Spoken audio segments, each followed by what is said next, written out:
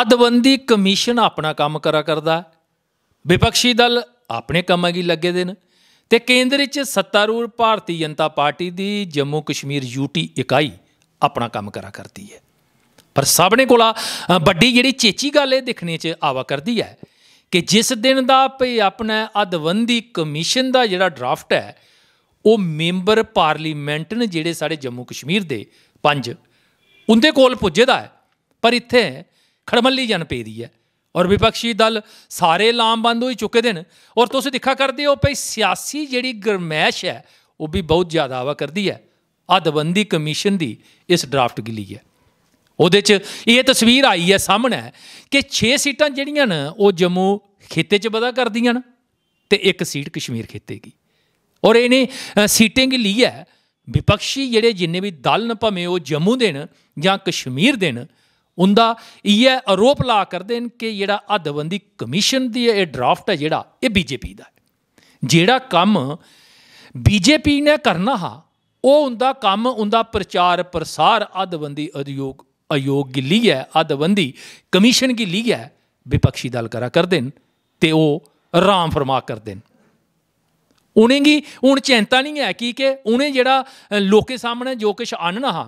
ਲੋਕੇ ਸਾਹਮਣੇ ਜੋ ਕੁਛ ਆਨਣਾ ਹਾ ਉਸੇ ਵਿਪਕਸ਼ੀ ਦਲ ਆਨਾ ਕਰਦੇ ਨੇ ਔਰ ਤੁਸੀਂ ਦੇਖਾ ਕਰਦੇ ਹੋ ਕਿ ਕੁਦੇ ਵੀ ਵਿਪਕਸ਼ੀ ਦਲ ਦੀ ਕਿਸੇ ਵੀ ਪਾਰਟੀ ਦਾ ਨੇਤਾ ਵੱਡਾ ਨੇਤਾ ਜਿਹੜਾ ਲ- ਅਵਾਮੀ ਜਲਸੇ 'ਚ ਭਾਸ਼ਣ ਕਰਾ ਕਰਦਾ ਤੇ ਉਹ ਇਹ ਆ, ਅ, ਆਖਾ ਕਰਦਾ ਭਈ ਜਿਹੜਾ ਇਹ ਡਰਾਫਟ ਆਇਆ ਸਾਹਮਣੇ ਇਹ ਬੀਜੇਪੀ ਦਾ ਡਰਾਫਟ ਹੈ ਜੀ ਤੇ ਮਿੱਤਰੋ ਇਹਦੇ 'ਚ ਇਹ ਹੋਆ ਕਰਦਾ ਵੀ ਬੀਜੇਪੀ ਕੀ ਜਿਹੜਾ ਕੰਮ ਬੀਜੇਪੀ ਨੇ ਕਰਨਾ ਹਾ ਤੇ ਉਹ ਇਹ ਆਪੂ ਕਰਾ ਕਰਦੇ ਨੇ ਇਸ ਵਾਸਤੇ ਇਹਨੇ ਕੀ ਬੀਜੇਪੀ ਵਾਲੇ ਕੀ ਖੁੱਲਾ ਪ੍ਰਚਾਰ ਪ੍ਰਸਾਰ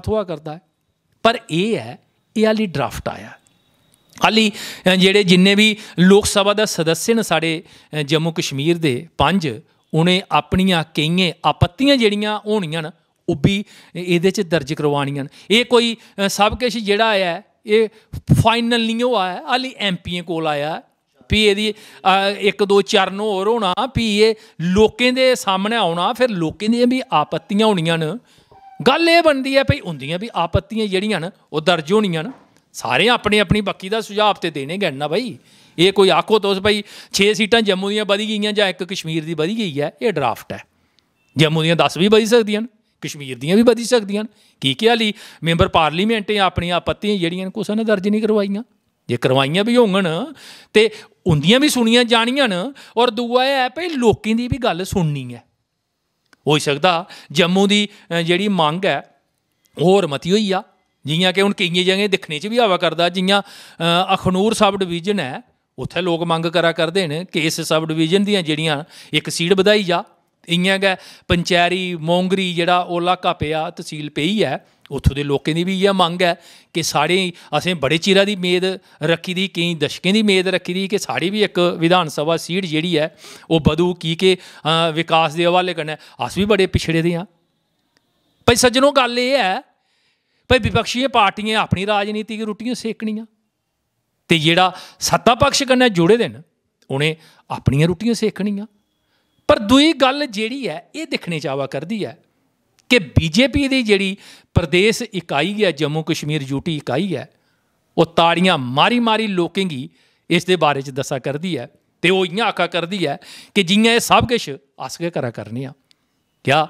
6 ਸੀਟੇ ਤੱਕ ਕਰਕੇ ਤੋਂ ਸੀਮਤ ਹੋ ਕਿਆ ਆਲੀ ਜਿਹੜੀਆਂ ਆਪੱਤੀਆਂ ਨੇ ਅ, ਮੈਂਬਰ ਪਾਰਲੀਮੈਂਟ ਦੀਆਂ ਜਾਂ ਫਿਰ ਲੋਕਾਂ ਦੇ ਜੇ ਲੈ ਕੋਲ ਇਹ ਅ, ਡਰਾਫਟ ਆਉਣਾ ਹੈ ਉਹ ਵੀ ਤੇ ਆਲੀ ਦਰਜ ਹੋਣੀਆਂ ਨਾ ਉਹ ਵਧੀ ਵੀ ਸਕਣੀਆਂ ਨੇ ਉਹ ਵਧੀ ਵੀ ਸਕਦੀਆਂ ਨੇ ਕੀ ਕਿ ਲੋਕਾਂ ਦੀ ਜਿਹੜੀ ਮੰਗ ਹੈ ਉਹ ਤੇ ਲੋਕੇ ਰੱਖਣੀ ਹੈ। ਪਰ ਬੀਜੇਪੀ ਵਾਲੇ ਛਾਤੀ ਠੋਕੀ ਠੋਕੀ ਇਸ ਅ, ਜਿਹੜਾ ਇਹ ਅੱਧਬੰਦੀ ਕਮਿਸ਼ਨ ਦਾ ਜਿਹੜਾ ਡਰਾਫਟ ਆਇਆ ਹੈ ਉਸ ਦੇ ਪ੍ਰਚਾਰ